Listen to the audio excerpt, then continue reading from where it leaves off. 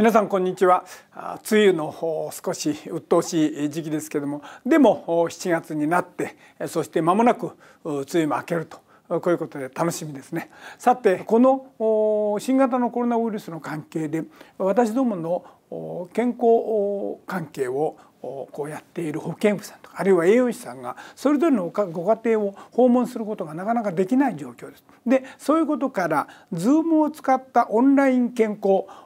相談開始をいたします。でこれはあのどういうことかと言いますとあのそれぞれ例えば子育てのお母さんがあ自分の子供さんの今までこうずっと生育していた状況ちょっとなんとなくこの頃こうなんですよっていう子供のさんの状況なんかをあのスマホで写してそれをもとに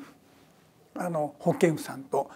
話をしてあのいろんなあの生育過程でこういうことが注意が必要ですよとかこうなんです。こういう話ができる。これをやっていきたいと。このように思っております。それからその次が暑い時期です。そしてあの私今マスクを取ってますけども。やっぱり密のあの人と話をお話をする時にはマスクをします。でマスクをしていろんな行事に参加していくね、熱中症のことを考えなくちゃいけません。今この部屋あの換気をしているんですけどもぱりあの換気をするつまり熱中症にかからないようにしかしながらマスクをします。あるいはあの密を避けるために窓を開けてなおかつあの少し暑さをあこうなんて言いますか取り去るためにはクーラーを入れますこれなかなかあの複雑な話になりますがある程度はあの私たちあのこういう時代ですから資源エネルギーの問題も構えたあの考えましたらあの温度の調整はある程度高くてもしょうがない。だけども熱中症になったら元ももありませんからということで例年よりも感じとしてはクーラーの度合いを少し低めるんですかねだって開けますからその分だけあの外の暑い空気も入ってくるということで例年よりも少しあのクーラーの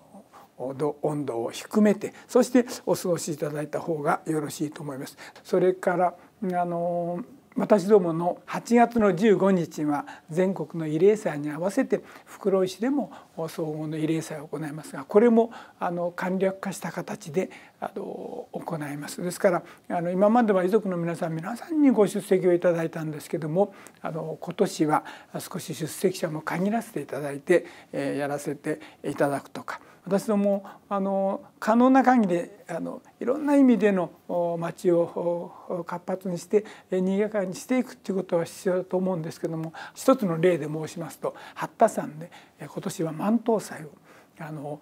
万灯祭を例年の通り開くということでこれは結構なことだと思いますしかしながらやっぱり八田さんのご住職なんかもその代わり密を避けたりあるいは人と人とがあのなんて言いますかね新型コロナウイルスにそれぞれ注意をしてしかもあの万灯祭という素晴らしい行事をそのままあの楽しんでいくと。こういうことを行っていきたいというお話もございます。ただ今からあの水害が起こる可能性が雨季でございますそれから秋の台風だとございますけどやっぱりその時にあのマイタイムラインつまり自分が避難するんだったらどこに避難するの？どれくらいの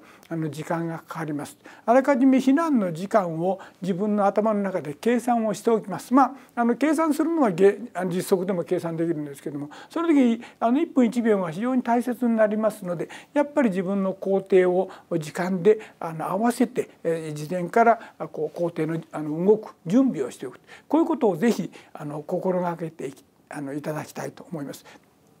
いろんなことがあの今月やっぱりあの新型コロナウイルスの関係であの行動とかそういうものに制約をあのされますだけどもあの私たちの基本的な生活はやっぱり続いておりますしせっかくの皆さん方のあの人生の中のこの7月は7月っていう月でとってもあの大切な月です。あの制約下でございますけどでもあの素晴らしい月にしていただきたいとあのこのように思っております。またあの今月皆さん方がご健康に気をつけなされてそして素晴らしいあの月でありますようにあのご記念申し上げまして僕からの挨拶とさせていただきます。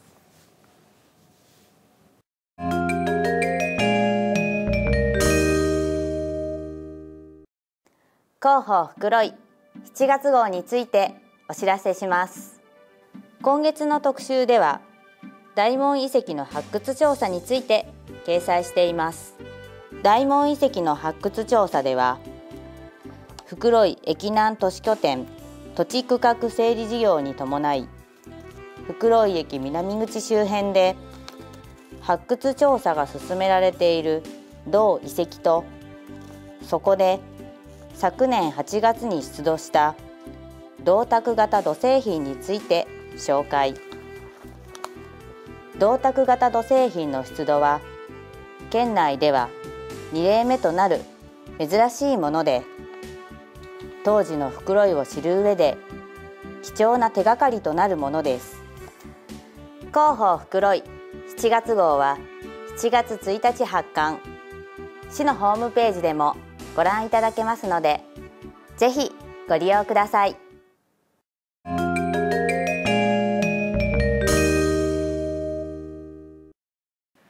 産業政策課産業労政室の渡辺です。袋井応援商品券についてお知らせします。袋井市では新型コロナウイルス感染症の影響により売上が減少している飲食店や生活関連サービス店等を支援するため地域内消費倍袋井を促し地域経済の回復を図ることを目的に袋井応援商品券を発行します。利用可能店舗はホームセンターやドラッグストアスーパーなどを除く市内の店舗で利用期間は8月21日から10月31日までです。商品券は1冊1万円で1万2000円分の買い物ができます。購入対象者は市内在住在勤在学の方で1人5冊まで購入できます。商品券の購入は購入希望者の混乱や3密を回避するため事前申し込みとなります。購入方法は専用ホームページの申し込みフォームまたは7月14日の新聞折り込みや市内公共施設にある募集チラシの申し込みはがきで袋井商工会議所へお申し込みください。申し込み期限は7月31日必着です。申し込み多数の場合は抽選で当選者には後日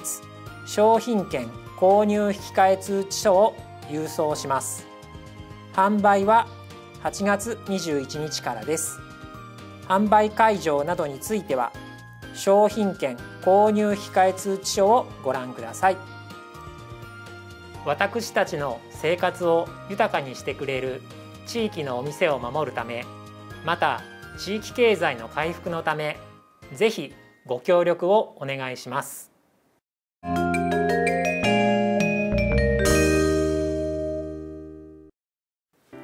ICT 政策課 ICT 推進室の高柳です。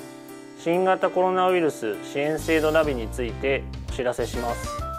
新型コロナウイルス感染症の拡大に伴いさまざまな公的支援が国や地方自治体などで実施されています。多くの制度がある中で自分自身に該当する制度を見つけることが難しいと感じている方もいるのではないでしょうか。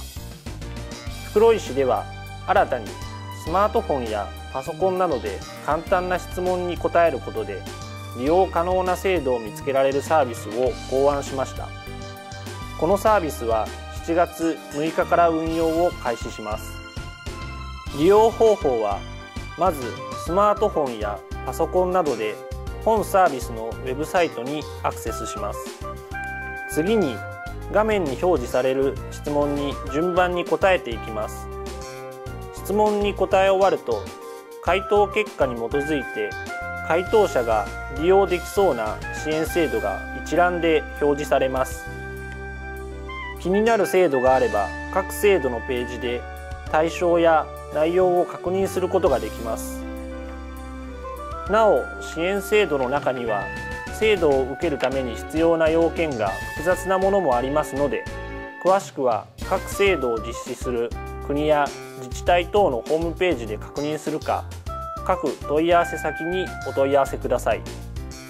新たな支援制度があれば随時追加し支援を必要とする市民の皆さんに分かりやすく情報をお届けしますのでぜひご利用ください。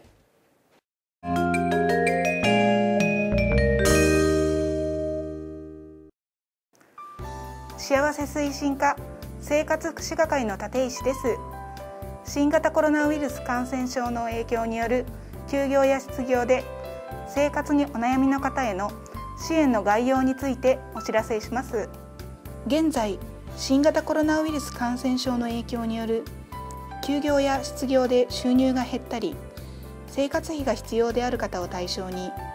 給付や貸付事業などの支援を行っています。7月からは新規に事業を追加し支援を拡大しています。今回は5つの支援をご紹介します。1つ目は住居確保給付金です。家賃が支払えず住居を失う恐れのある方に一定期間家賃相当額を支給します。世帯での収入条件や預貯金の合計額に基準がありますが原則として3ヶ月最長9ヶ月まで給付します。1人世帯の場合の月額は上限が3万7200円です。2つ目は光熱水費給付金です。電気ガス水道などのライフラインが喪失する恐れのある方に一定期間光熱水費相当額を支給します。令和2年4月1日に袋井市に住んでおり住居確保給付金と同じく世帯での収入条件や預貯金の合計額に基準があります。1人世帯の場合の月額は1万円で給付金は申請者の口座へ振り込みます。毎月光熱水費の支払い状況を報告する必要があります。3つ目は生活福祉資金の貸付です。生活維持のための費用を必要とする方に貸付を行っています。主に休業が理由の場合は緊急告知資金として1世帯10万円から20万円を上限に貸付回数は1回です。また主に失業が理由の場合は総合支援資金として単身では月額15万円以内複数世帯では月額20万円以内で。貸付期間は3ヶ月です。無利子無担保で。一定期間の据え置き期間の後に返済を行っていただきます。4つ目は生活応援資金の貸付です。生活維持のための費用を必要とする方に貸付を行い令和2年4月1日に袋井市に住んでいる方が対象です。1世帯20万円を上限に貸付回数は1回となります。5つ目はフードバンクです。フードバンクとはまだ食べられるのに捨てられてしまう食品を生活困窮などの理由により食べ物に困っている方に提供する社会福祉活動です。世帯ごとにおよそ2週間分の食品が届けられます。生活相談を受け申し込みをすると数日から1週間くらいで市へ届けられますので再度窓口まで受け取りに来ていただきます今回のご紹介は以上となりますが他にもいろいろな支援がありますので一人で悩まずまずは市や社会福祉協議会へご相談ください。